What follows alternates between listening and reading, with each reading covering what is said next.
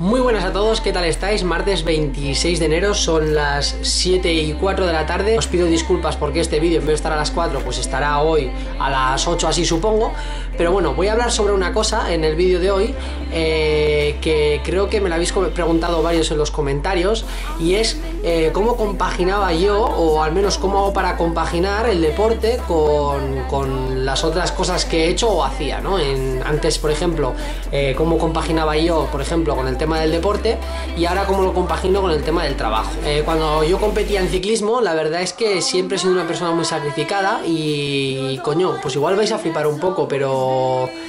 con tal de llegar a todas las obligaciones que tenía y luego poder entrenar, que realmente eh, para mí entrenar era como un hobby, o sea, no entraba dentro de las obligaciones en aquel entonces, aunque luego ya con el paso del tiempo sí que como me exigía más y todo eso se convirtió en una obligación y es por lo que al final acabé dejándolo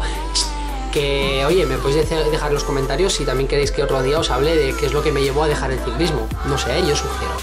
Pero bueno, como yo en aquel entonces veía el ciclismo cuando estaba estudiando eh, como un hobby, por decirlo de alguna manera, pues al final lo primero que tenía que hacer y a lo que daba prioridad era al tema de los estudios o cuando tenía que hacer, yo qué sé, cualquier otra historia, que realmente la concibiera yo como una obligación.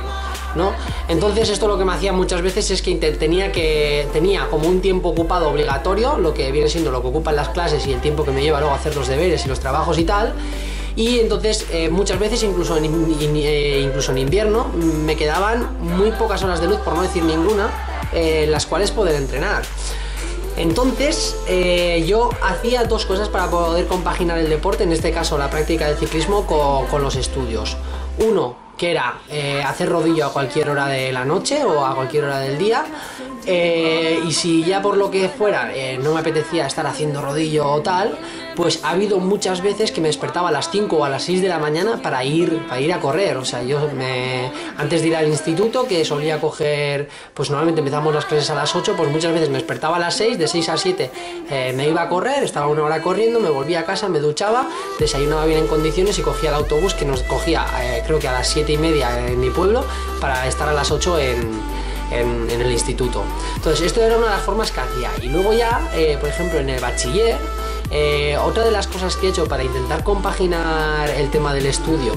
con el deporte fue que, por ejemplo, en épocas de exámenes, que además solían coincidir cuando teníamos algún reto deportivo importante como un campeonato de España o cuando igual estábamos haciendo las pruebas,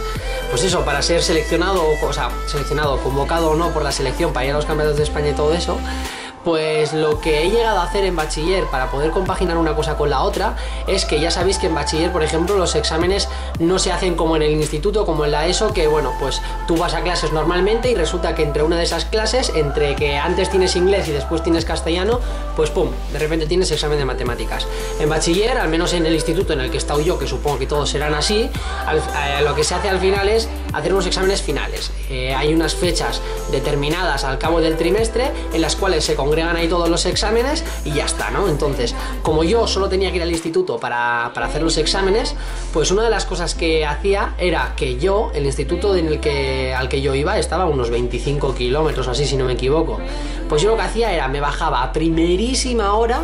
a, un sitio en el que solía quedar con unos profesores que, que trabajaban en el instituto, porque solía ir con él muchas veces al instituto, bueno, a bachiller en este caso, y le solía dejar una mochila con ropa y todo eso. Entonces, yo iba ya supuestamente con los deberes hechos y todo, ya bien todo estudiado, entonces lo que hacía era, para la hora de irme al examen, me cogía mi bicicleta y pu, pu, pu, 25 kilómetros hasta el instituto.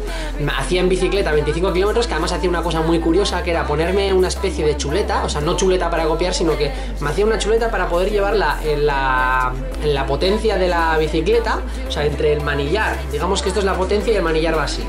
pues para ponérmela aquí, digamos, entre el manillar y la potencia, y entonces lo que iba haciendo es durante esos 25 kilómetros, que era una cosa de una hora, un poquito menos, pues iba repasando. Realmente iba hacia el examen y es como si fuera repasando, pum, pum, pum, pum, pum, pum, pum, pum, y eso pues iba sumando yo kilómetros. Entonces llegaba al examen, me cambiaba porque había dejado al profesor la ropa, eh, hacía el examen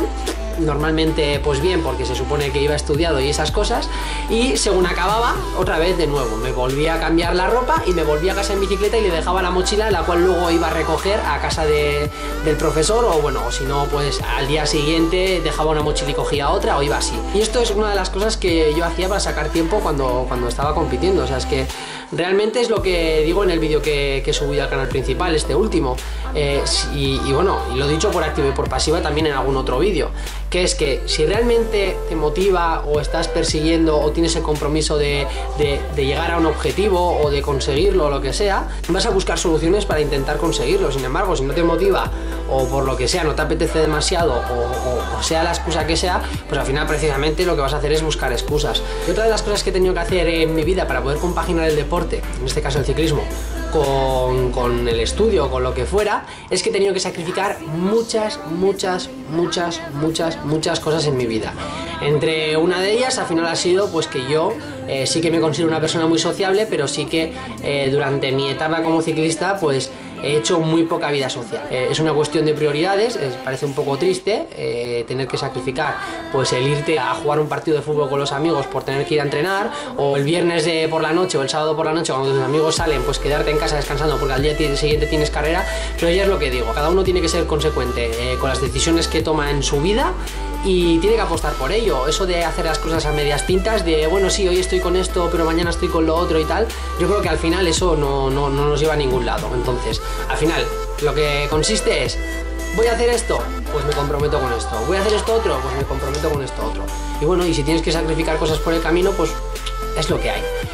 Eh, no sé, creo que ha quedado, como no me había planificado nada este vídeo, eh, creo que ha quedado un poco lioso, incluso igual queda hasta incluso un poco largo, pero no sé, yo os he escupido ahí todos mis pensamientos, todas mis rayadas, todas mis pájaras mentales y espero que al menos esos que me preguntáis eh, casi a diario, ¿no? De cómo haces para compaginar los estudios con el deporte o otras prácticas, pues creo que es espero que al menos el haberos expuesto mi caso os haya servido de algo. Si no, pues ya lo siento y ya intentaré hacer otro vídeo más adelante explicándolo en más detalle y con un poco un guion y tal para que no me vaya madre. Así que nada, esto ha sido el vídeo de hoy. Ya os decía, lo siento si ha quedado demasiado largo o demasiado confuso, pero bueno, eh, mañana nos veremos en otro vídeo, así que mientras tanto, a disfrutar chavales.